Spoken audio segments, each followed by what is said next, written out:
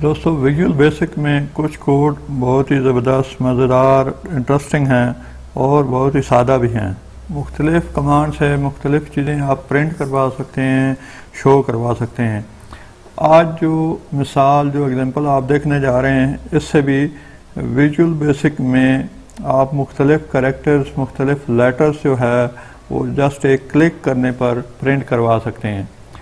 ये प्रिंटिंग किस तरीके से होती है या क्या चीज़ आप प्रिंट करवा सकते हैं, ये देखने के लिए सबसे पहले हम एक बटन ड्रा कर लेते हैं, जो कि हमारे कोड्स को रन करेगा, यानी जो हमारा कमांड बटन होगा। और इसी कमांड के ज़रिए हम फिर उसे गो हेड का मैसेज देंगे, आगे क्लिक करने पर बताएँगे कि जी आप जो है वो प्रिंट कर दो, हमारा जो डाटा है वो शो करा दो। अब इसका नाम हम चेंज करने जा रहे हैं बटन का। सिर्फ़ अपनी याद दयानी के लिए कि ये बटन हमने किस लिए बनाया था तो हम इसका नाम रख देते हैं शो टेक्स्ट। शो टेक्स्ट से क्या होगा कि जो हमारा टेक्स्ट है, वो विजुअल बेसिक शो करेगा मुख्तलिफ़ जगह पर। अब आ जाते हैं इसकी कोडिंग के ऊपर। तो सबसे पहले हम इसको ओपन कर लेते हैं और फिर इसके अंदर अपने कोड टाइप करते हैं। इसके अंदर बहुत ही आसान सा कोड है, जो आसानी से आपको ज़बानी याद भी हो सकता है। तो हमने शीट डाट रेंज का जो है वर्ड दे दिया और फिर ब्रैकेट में हम सेल बता देंगे। जैसे कि मैं यहाँ सेल बताने जा रहा हूँ कि F1 F1 में हमारा पहला जो वर्ड है, जो लेटर है, वो टाइप होगा। और ये लेटर हम टाइप कराएँगे जो माइक्रोसॉफ्ट एक्सेल और विजुअल बेसिक में करेक्टर्स होते हैं। यानी अल्फ़ाबेट को मुख्तलिफ़ जो है वो सीक्वेंस आर्ट के नंबरों से करेक्टर्स की शक्ल में हम दे सकते हैं तो वो हम एक नंबर यहाँ प्रिंट करवाएँगे। अब यहाँ 65 नंबर मैंने दे दिया। इसमें जो करेक्टर है वो 65 है। 65 करेक्टर जो है वो ए के सिंबल को, यानी कैपिटल ए को प्रिंट करता है कैपिटल ए को शो कराता है। इसको चेक करने के लिए हम क्लोज करके एक दफ़ा इसको रन करते हैं और देखते हैं कि F1 में क्या करेक्टर ए प्रिंट हुआ कि नहीं? अब जब मैंने इस बटन पर क्लिक किया तो अब आप देख सकते हैं कि F1 में जो लेटर ए है, वो प्रिंट हो चुका है। कैपिटल ए जो है, वो हर्फ प्रिंट हो सकता है। इसी तरीके से हम मुख्तलिफ़ कोड्स बनाकर, मुख्तलिफ़ चीज़ों को मुख्तलिफ़ नाम प्रिंट करवा सकते हैं। जैसे कि मैं यहाँ जो है, वो एक फर्जी या मैं अपना नाम ही प्रिंट करवा देता हूँ। तो इस नाम को प्रिंट करवाने के लिए मेरे नाम में, क्योंकि पाँच जो है वो लेटर यूज़ हो रहे हैं तो मैं पाँच दफ़ा जो है वो स्क्रीन पर प्रिंट करवाऊँगा, पाँच जो लेटर्स हैं वो प्रिंट करवाऊँगा। सबसे पहले जो मेरा लेटर यूज़ होगा, वो 78 यूज़ होगा, क्योंकि 78 यूज़ होता है लेटर जो है वो एन के लिए। उसके बाद आई के लेटर के लिए जो है वो सेवन थ्री यूज़ होगा, और फिर उसके बाद जो है वो एट थ्री यूज़ होगा। उसके बाद एट थ्री के बाद सिक्सटी फाइव ए के लिए यूज़ होगा और फिर जो है वो लास्ट में एटी टू करेक्टर आर के लिए।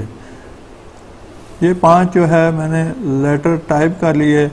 अब इस पाँच लेटर्स को टाइप करने के बाद जब मैं इसे सेव करके शो कराऊँगा, लेकिन यहाँ एक चीज़ जो है वो दोबारा हमें क्लियर करनी पड़ेगी कि जो तमाम लेटर्स हैं वो एक ही जो है वो F1 के ऊपर ना शो हों।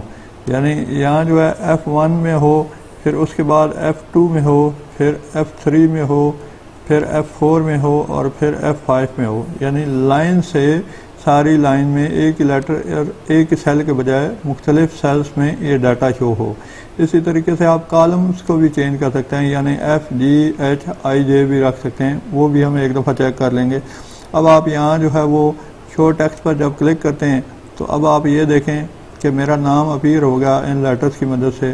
इस क्लिक करने पर जो विजुअल बेसिक के कोड्स हैं, उन्होंने करेक्टर्स को प्रिंट कर दिया। आर्ट के जो करेक्टर्स होते हैं, जिन्हें हम 255 करेक्टर्स भी कहते हैं, इस पर भी एक सेपरेट हम एक वीडियो बनाएँगे कि जो विजुअल बेसिक के अलावा भी ये आर्ट के करेक्टर किस तरीके से काम करते हैं। तो ये जो करेक्टर्स हैं, इनमें मुख्तलिफ़ किस्म के सिम्बल्स मुख्तलिफ़ तरह के जो लेटर्स भी आप प्रिंट करवा सकते हैं। मैनुअल जो है वो फीडिंग करके भी आर्ट के करेक्टर के बजाय भी दूसरे भी फीडिंग करवा सकते हैं।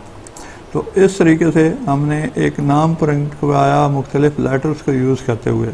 अब आते हैं, इसको क्लियर करते हैं कि ये जो डाटा है वो क्लियर किस तरीके से होता है। यानी अगर ये कॉलम हमने पूरा क्लियर करना है डाटा की जो रेंज है उसको ख़त्म करनी है, यहाँ जो है वो डाटा हमें नहीं चाहिए तो वो क्लियर किस तरीके से होगा? सबसे पहले हम एक और जो है वो कमांड बटन जो है वो क्लियर करने के लिए ऐड कर लेते हैं और उसका नाम जो है हम क्लियर या क्लीन जो है वो रख लेते हैं, ताकि हमें पता लगता रहे कि ये बटन जो है वो हमारे किस कोड के लिए यूज़ हो रहा है।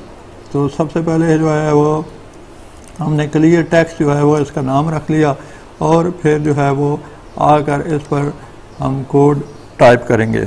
इसके क्लियर करने के लिए कोड भी बहुत ही आसान है। जस्ट आपने रेंज लिखनी है। रेंज लिखकर आपने फिर जो वह एरिया बता देना है।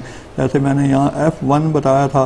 F1 बताकर फिर मैंने जो है वो, क्योंकि एक से ज़्यादा सेल हैं तो इसी तरीके से रेंज देनी है और F5 तक दे देना है। F5 तक रेंज देने के बाद मैंने इसको जो है वो क्लोज करना है और फिर वहाँ जो है मैं कुछ नहीं टाइप करवाना चाहता, खाली करवाना चाहता हूँ तो डबल कमा कोटेशन में भी मैंने ये जो है वो क्लोज कर दिया, यानी डबल कमा और कोटेशन लिख दिया। इससे मुराद है कि यहाँ वो खाली टेक्स्ट आ जाएगा, उसका जो टेक्स्ट है वो क्लियर हो जाएगा। सिर्फ़ ये एक लाइन की कमांड है, तीन चार हर्फ हैं रेंज देकर आपने, यानी रेंज का वर्ड लिखकर आपने रेंज देनी है और फिर इक्वल टू में डबल कमा खाली छोड़ देने हैं, उसे क्लियर कर देना है।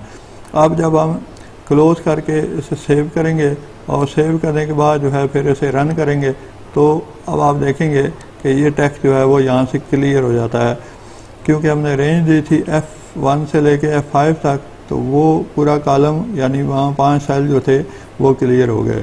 शो टैक्स से जो है वो आर्ट के कलेक्टर के साथ जो है वो एक नाम शो करवा रहा था और क्लियर टेक्स्ट से जो है वो टेक्स्ट जो है वो क्लियर हो चुका है।